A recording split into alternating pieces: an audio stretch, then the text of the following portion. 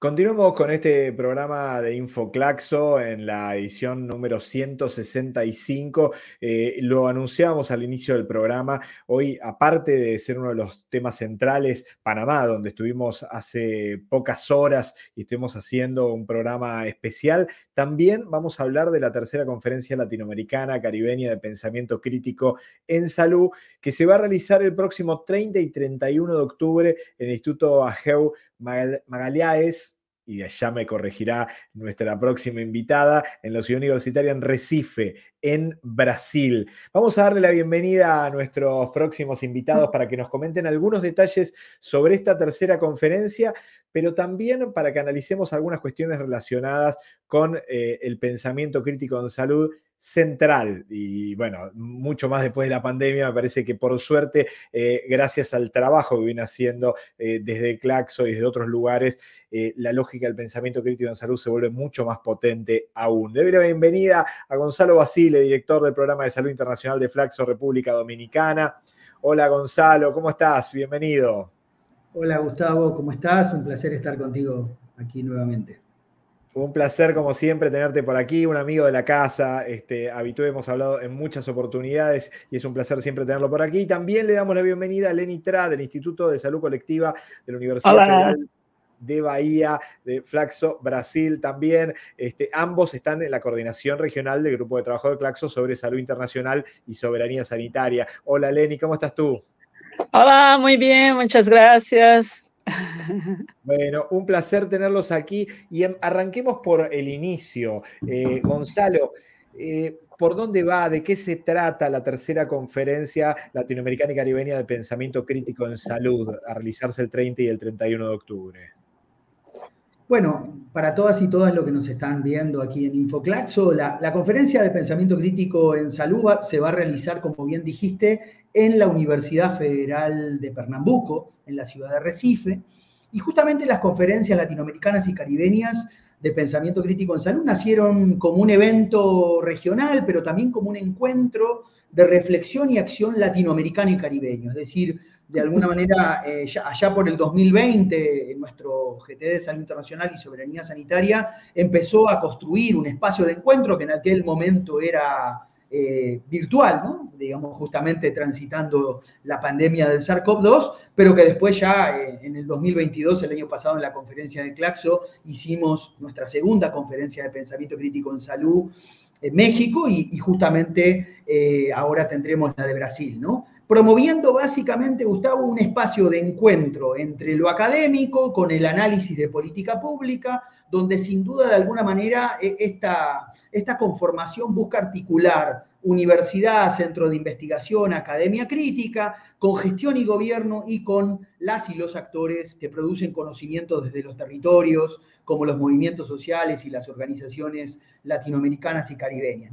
Básicamente tendremos cinco grandes ejes de debate y de reflexión en esta conferencia, que de alguna manera son los grandes ejes que tienen los grupos de estudio del GT de Salud Internacional de Claxo, ¿no? Epistemologías del pensamiento crítico de la salud desde el sur y la soberanía sanitaria, los feminismos decoloniales y las luchas antirracistas en la salud, eh, todo lo que tiene que ver con la refundación de los sistemas de salud en el siglo XXI, la salud socioambiental y la epidemiología de los extractivismos en nuestros territorios latinoamericanos y caribeños, y, digamos, por último y como cierre, todo un encuentro de movimientos sociales y territoriales por la soberanía sanitaria.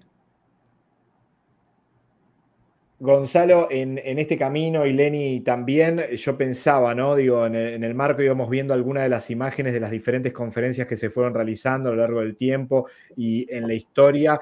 Digo, Lenny, ¿qué ha pasado después de la pandemia? Porque entiendo que estas discusiones, si eran centrales antes, después de la pandemia, se han puesto sobre la mesa de la manera más cruda, ¿no?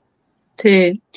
Bueno, eu creio que a pandemia, incluso isto está registrado em um trabalho que hicimos, muitos de nós outros que hacemos parte do, RT de soberania sanitária, ha servido, entre outras coisas, para eh, deflagrar e, evidenciar que a pandemia, assim como outros processos uh, sociais, não tem nada de democrático, porque afetam de modo distinto a grupos sociais que estão puestos en situaciones diferenciadas.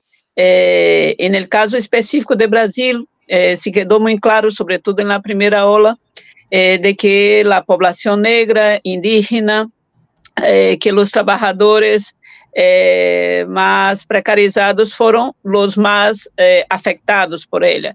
Pero también tenemos ahora una oportunidad ímpar eh, en Brasil y creo que la, la, conferencia viene en un momento muy oportuno, porque es un momento eh, de mucha energía, de mucha esperanza, en el sentido de que finalmente, después de cuatro años de muchos retrocesos, eh, temos a expectativa de volver a trabalhar de maneira muito, muito forte por la construção de uma sociedade eh, mais justa, de uma integração muito mais efetiva de todos os grupos sociais que estão, não somente em Brasil, en el continente como el todo.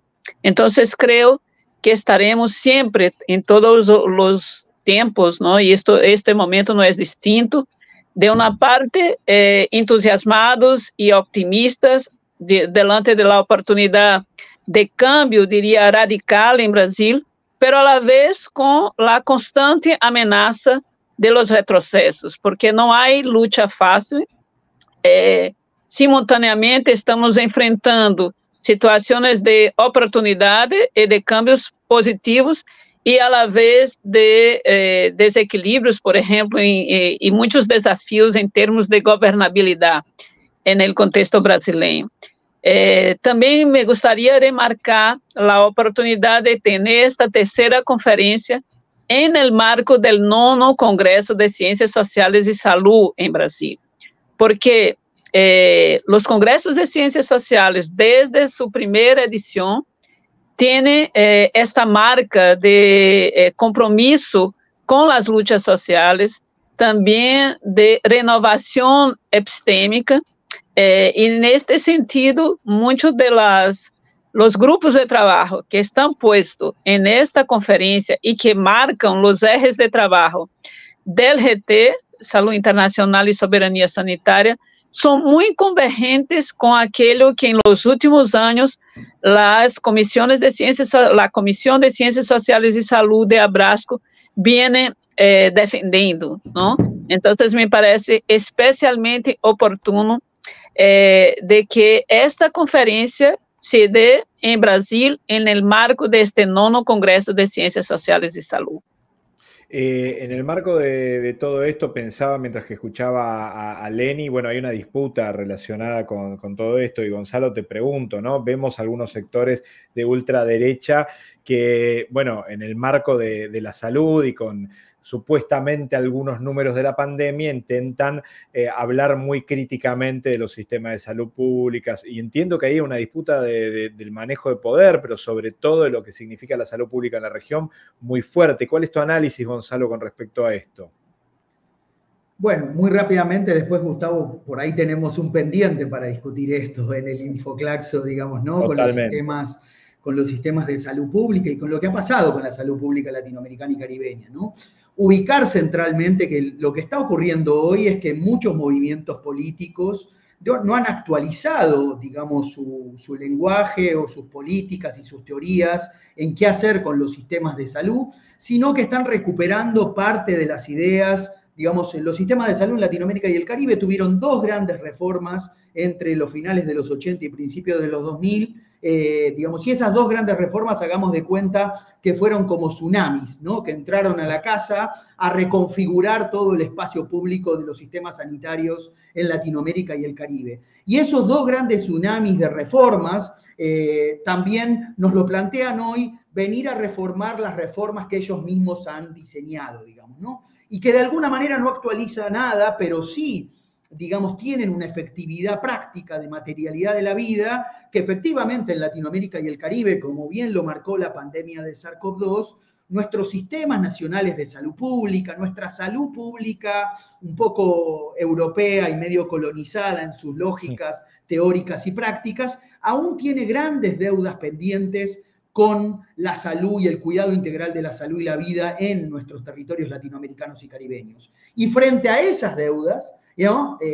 y frente a bienes públicos como los servicios y sistemas de salud que estaban precarizados, desfinanciados, con bajas capacidades de respuesta, obviamente se sube esta ola en plantearte que, bueno, lo mejor es la separación de funciones, es decir, que el Estado no se ocupe de rectoriar, guiar y construir políticas sanitarias en los sistemas de salud, sino que haya una especie de órganos autárquicos desregulados o que lo mejor es el subsidio a la demanda, le estoy poniendo nombres técnicos a lo que ustedes en Argentina llaman el voucher, ¿no? Que es el subsidio a la demanda, es decir, dejar de financiar los servicios y sistemas de salud pública y empezar a financiar a las personas, es decir, con el supuesto que un seguro eh, de salud en la persona como un subsidio a la demanda eh, puede mejorar mi materialidad del cuidado de la salud y la vida, cuando lo más seguro de los sistemas de seguros en Latinoamérica, como lo muestra Colombia, República Dominicana, el propio México que salió de ese esquema, Perú, Chile, lo más seguro de los sistemas de, seguros de salud es que son profundamente inseguros porque lo que hacen es de alguna manera transferirme responsabilidades, precarizar y destruir las capacidades que tienen los servicios y los sistemas de salud pública. Además, en gran medida me quedan un listado de procedimientos, como si yo les dijera un listado de, de qué me puedo enfermar y de qué me puedo atender. Fuera de ese paquete de servicios, vayan a ocuparse al mercado, digamos. Es decir, nosotras en Latinoamérica y el Caribe estamos necesarios de refundar los sistemas de salud en el siglo XXI. Es decir, en Claxo vas a ver en el GT que nosotros discutimos, digamos que la necesidad de descolonizar nuestras teorías y políticas en, salud, es decir, Latinoamérica y el Caribe se la ha pasado todo el siglo XX y parte de este siglo XXI importando, copiando y pegando teorías y políticas sobre sistemas de salud. Primero trajimos el modelo Bismarck, después trajimos la idea de Beveridge Universal Europea, después trajimos los aseguramientos de los bancos, del Banco Mundial y del Banco Interamericano de Desarrollo, es decir, necesitamos construir un pensamiento crítico latinoamericano para refundar los sistemas de salud en el siglo XXI.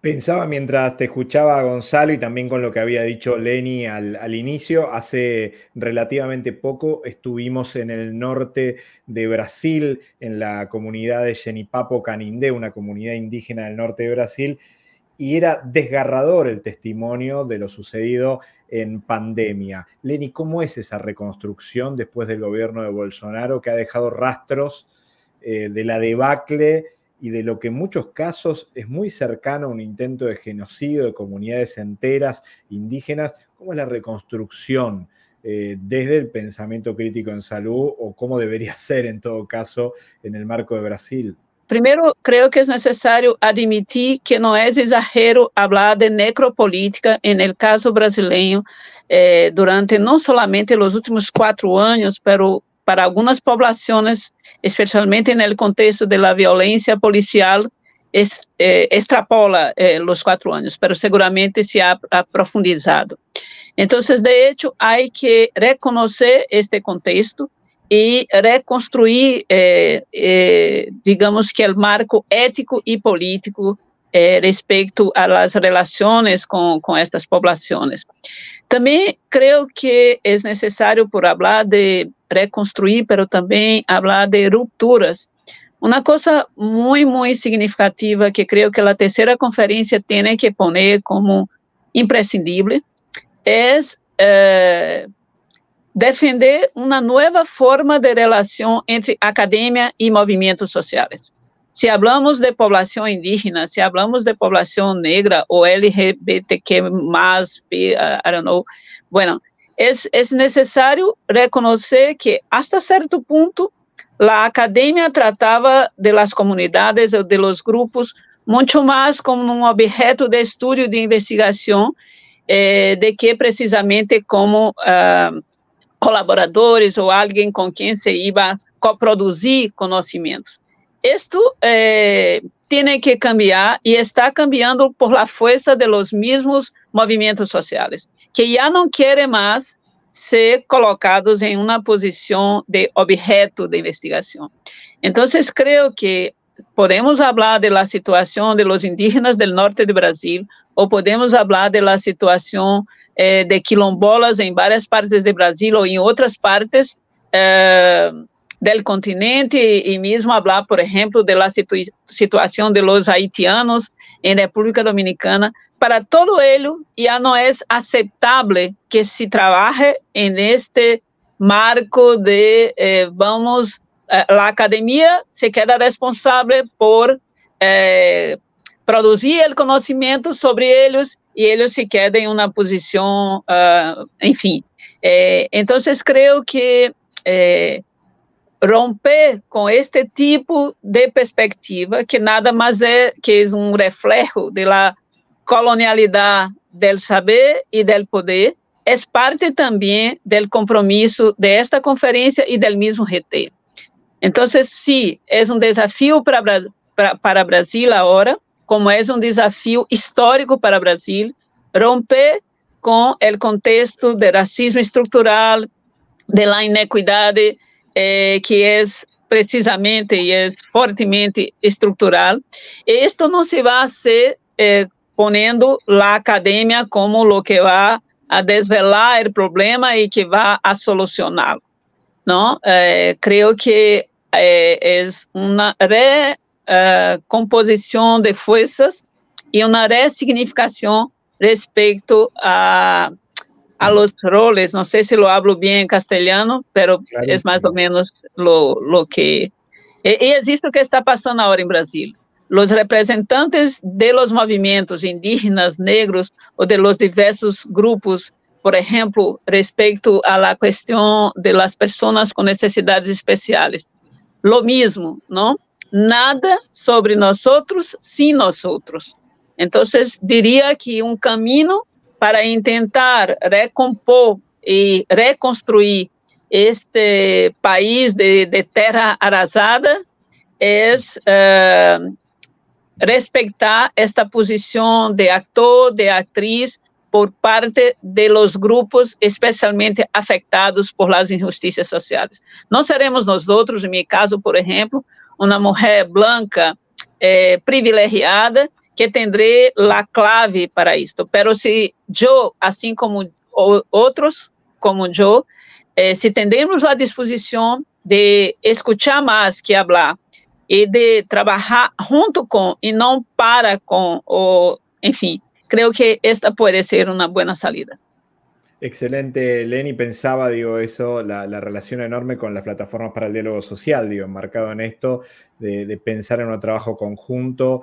Este, y qué diferente, Gonzalo, ¿no? Qué diferente de estos discursos mesiánicos que tienen algunos sectores de ultraderecha eh, en nuestra región, que dicen eh, desde posiciones eh, supuestamente económicas o economicistas, que resuelven todo con unas cuentas en, el Excel, ¿no? Dicen, eh, la salud tiene que ser de tal manera, la educación de tal manera. Digo, qué diferente este discurso de lo que nos plantea Leni a lo que escuchamos en algunos de estos sectores. Bueno, sin duda en eso, Gustavo, lo que, lo que ha ocurrido es que además ha habido un reduccionismo y una simplificación de la complejidad del gobierno y la gestión y la transformación del Estado, ¿no? Es decir, eh, efectivamente, digamos, y creo que ahí sí hay que partir, digamos, de un análisis crítico o de un balance crítico, que los bienes públicos para la vida en Latinoamérica y el Caribe, es decir, los sistemas de salud, los sistemas de educación pública, eh, las estrategias y políticas sociales, han quedado atrapadas de alguna manera, si querés, como reformas instrumentales dentro de esas oleadas de reformas que nos trajeron los organismos internacionales, pero que también parte de nuestros sistemas políticos implementaron a lo largo, por lo menos, de, desde los años 50 para acá, digamos, ¿no? Es que, y algunos países hemos tenido algunos avances en la construcción de sistemas públicos, pero con muchas dificultades, a veces con retrocesos, y en eso, digamos, claro, se montan, digamos, parte de estas un poco de este pensamiento más líquido y más simplificado que trae como, como si fuera en la, ¿no? en, la, en la, salud fuera la biomedicina clínica que siempre hay una pastilla mágica que lo va a resolver, ¿no? o la salud pública que todo lo vamos a controlar controlando el estado de las poblaciones, como si fuera tan sencillo. Bueno, mágicamente traen un discurso eh, retomando cosas muy básicas de, de la escuela liberal incluso de, toda la corriente austríaca más neoliberal, eh, en cosas, en slides muy básicos, en el sentido de la complejidad de lo que significa la gestión y gobierno del Estado en Latinoamérica y el Caribe. Y además con una particularidad, ¿no? Como diría el querido Matus, saltando, es decir, no hay una capacidad de complejizar los problemas que tenemos sanitarios, sociales, raciales eh, en Latinoamérica y el Caribe y cómo están todos interconectados y entremezclados y las necesidades, digamos, de construir respuestas más integrales del cuidado de la salud y la vida, sino que te lo simplifican y lo que hacen es saltar a, a lo que yo llamo la solucionitis, ¿no? Es decir, la solucionitis es como una especie de listado de supermercado de soluciones mágicas y soluciones fáciles, que en esto no estoy subestimando las sociedades latinoamericanas y caribeñas, todo lo contrario, en la materialidad de la vida, en las necesidades, prioridades y problemas, efectivamente eh, puede haber fugas hacia ese tipo de respuestas de solucionitis, eh, aunque después, obviamente, tengamos las consecuencias de destrucción de, de, los pocos bienes públicos o de las necesidades aún colectivas que tenemos en salud, y a esas, a esas destrucciones de sistemas de salud pública, de, de, procesos de protección de la vida y protección social, cada destrucción es como un escalón más abajo que partimos, ¿no? Con lo cual, cuando volvemos a reingresar a un debate de refundación del Estado, de refundación de los sistemas de salud, siempre partimos como de un escalón más abajo. Es decir, lo que muestra Latinoamérica y el Caribe no es un ascenso hacia el progreso y toda la teoría del desarrollo, sino más bien, digamos, cómo siempre se puede estar peor y tensionar toda esa dinámica, ¿no? Y yo en esto lo último que diría, Gustavo, es que también hay un llamado a la actualización del pensamiento crítico situado en Latinoamérica y el Caribe en la salud en el siglo XXI. Es decir, necesitamos una salud pública que también actualice sus lentes de las viejas teorías críticas europeas que trajimos al continente, de las viejas tesis totalizantes que a veces nos han servido ¿no? como una especie de santo grial de lo que dice nuestra tesis, digamos, o nuestra teoría eh, eurocéntrica, y un poco empezar, como decía Leni, primero entender que nuestros sistemas de conocimiento, sobre todo en el campo de la salud, parten de una ecología de saberes y de un sistema de conocimientos en salud de la Via Yala que desconocemos en la academia. En segundo lugar, que también necesitamos una academia en salud descolonizada de todos estos lentes y todas estas formas de producir y hacer conocimiento en el campo sanitario eh, para, para, el cuidado de integral de la salud y la vida. Y en tercero, con, e, y eso no alcanza solo digamos, claro, muchas de nosotros hacemos una interpelación adentro de la academia, porque la academia también es un espacio público de disputa y de transformación, pero que sin duda, como decía Leni, no alcanza con la academia, digamos, tampoco alcanza con la todología de la gestión y gobierno, es decir, que llegamos a la gestión y gobierno y por momento nos llaman a que no pensemos más, porque como ya llegamos al gobierno, eh, nos quedemos, digamos, no acompañando esos procesos de gobierno, sino también cómo tensionamos y cómo construimos escuelas de gobierno para el siglo XXI mucho más críticas y mucho más situadas en el sur. Y por último, sin duda, cómo recuperamos todos los sistemas de saberes y conocimientos de los movimientos sociales y de las naciones de la Via Yala, que son sistemas de conocimiento que probablemente sean mucho más complejos que el pensamiento científico moderno más tradicional. Eh, Lenny, en, este camino pensaba mientras que los escuchaba a los dos, digo, en, esta lógica de cómo los movimientos sociales, eh, junto con la academia, junto con decisores y decisoras de políticas públicas, tienen que trabajar en conjunto para muchas de estas cuestiones y pensaba en los movimientos feministas, ¿no? Este, qué grandes aportes han generado a la dimensión de las políticas públicas y a la transformación de las políticas de salud en muchos de nuestros países. Digo, ¿cuál, es tu análisis con respecto a los movimientos feministas, entendiendo también la diversidad que hay dentro de estos movimientos? Primero debo decir que parece que has leído mi pensamiento, porque justo estaba yo aquí pensando sobre é, lo muito oportuno e importante que é um princípio básico de, de lo feminismo, eh, sobretudo eh, del feminismo decolonial, que é este princípio de valorar o conhecimento situado, não? Pero que, que existe, eh, precisamente quando tu e Gonçalo antes comentava, eh, primeiro, isto não tem eh, respeito à complexidade seguro, eh, considera la importancia de comprender eh, las situaciones a partir de posiciones de experiencias de todas y todos involucrados. Porque cuando uno importa uma teoria desde um contexto para outro contexto, desde um grupo social para outro grupo social, seguramente há aí um, uma distância muito grande. Tal qual, sim, sim, sim, claramente. Porque são caminhos distintos. E esta, esta perspectiva feminista de valorar experiência, prática e contextos locais, creio que é um caminho sem volta se um não quer fazer uma prática crítica. Uh, por outro lado, é necessário reconhecer que o feminismo tem um trajeto e que não se pode falar de feminismo em singular e sim de feminismos em lo plural, porque sí, eh, por muito tempo houve uma dominância de um feminismo blanco ou de um feminismo europeu ou de um feminismo de uma determinada classe social. então quando falamos de feminismo eh, em plural, falamos cada vez mais de reconhecimento deste conhecimento situado, incluso para distinguir experiências de umas mulheres respeito a outras mulheres e mesmo dentro de um, um grupo social comum, como pode ser mulheres brancas ou mulheres negras, a partir de uma perspectiva interseccional, uno já com, com, eh, empieza a dizer, mira, pero não é o mesmo uma mulher negra que está la universidade ou que ocupa um cargo en el Ministerio de Salud y una otra que está en una zona rural que não tem a mesma, a mesma capacidade de se expressar e todavia muito mais difícil para ela de que outra mulher branca que se encontre no mesmo contexto.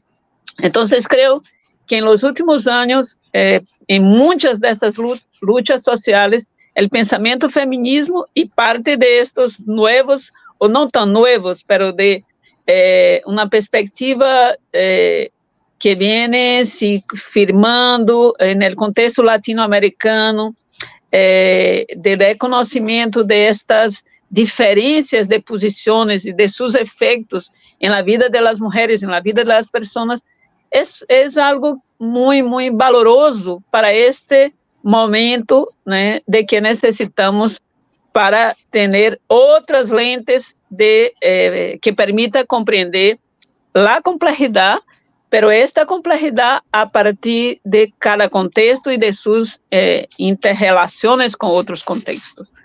Es esto, creo que, que el feminismo, el feminismo decolonial, el feminismo negro, viene aportando eh, alternativas muy, muy interesantes y quería aquí añadir que una cosa muy sorprendente, al menos en la salud colectiva brasileña, é, é que por um tempo houve resistência a falar de uma renda de saúde ampliada.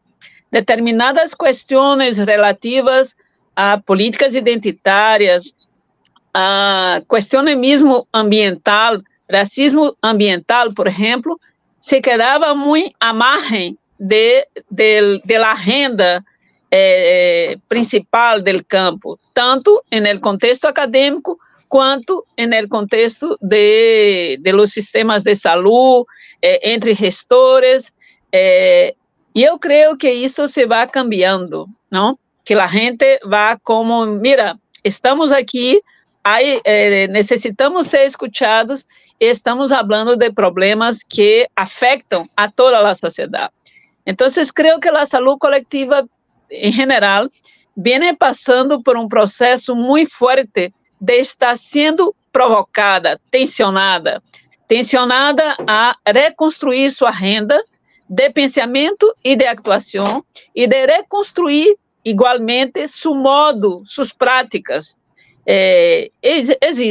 É, o feminismo, sem dúvida, tem um papel muito importante em, em estas, digamos, eh, provocações, tensões que eh, em minha, para, em minha visão, vai contribuir para que se crie eh, perspectivas muito mais eh, sensíveis eh, e muito mais comprometidas com a transformação social. Porque não se trata apenas de refinar ou de melhorar, e eu que sei, do conhecimento produzido, para que este conhecimento tenha um efeito prático na vida das pessoas, eh, de los territórios, e que, de hecho, produza cambios uh, importantes eh, y positivos en, las vidas de las personas. Eh, agradeciéndoles enormemente por, por el tiempo, por, por, la disposición. Gonzalo, ¿nos puedes contar cómo hace la gente para poder participar de esta tercera conferencia latinoamericana y caribeña de pensamiento crítico en salud? ¿De qué manera se puede sumar? ¿Hay que inscribirse en algún lugar en, en particular? ¿Se va a poder seguir de alguna manera virtual si es que uno no se puede acercar al lugar? Sí, efectivamente, Gustavo, ahí está apareciendo la página web del GT de Salud Internacional de Claxo, de Salud Internacional, que es eh, www.pensamientocriticoensalud.org, digamos, donde se pueden inscribir de manera presencial. Tenemos unos cupos porque estaremos trabajando el 30 y 31 jornadas completas, los dos días eh, con todas las mesas de trabajo que tendremos. Ya nosotros estamos un poco saliendo de los viejos congresos académicos y estamos entrando a mesas de trabajo. Y en esas mesas de trabajo presencialmente eh, pueden inscribirse de forma de acceso gratuito, digamos, solo con, la, solo con la prescripción, en el Instituto Magaláes de la Fiocruz, de la Escuela de Salud Pública de Pernambuco, dentro del predio ¿no? de la ciudad universitaria de la Universidad Federal de Pernambuco. ¿No? Esa es la parte presencial. Y después también se pueden inscribir de forma no presencial para seguir procesos de transmisión virtual que vamos a tener de alguno de los paneles, eh, de los ejes temáticos y de las mesas de trabajo, donde también vamos a transmitir en nuestro canal, digamos, ¿no? de, YouTube, que es Salud Internacional GT, Salud Internacional Claxo, donde también van a poder seguir parte de la transmisión de esta conferencia. Clarísimo, ahí Gonzalo. Estamos viendo en este momento, bueno, www.pensamientocriticoensalud.org es simple, simple, simple ingresar a la web y ahí van a ver un formulario de inscripción que es el que están viendo. Tiene dos, tres preguntas, muy simplificado todo para poder inscribirse, para poder sumarse, para poder participar. Y ahí mismo, hacia el final del formulario, ponen directamente si van a participar de manera presencial o virtual. Eh, a ver, Gonzalo, Leni, les quiero agradecer enormemente. Gracias por presentarnos. Muchas gracias.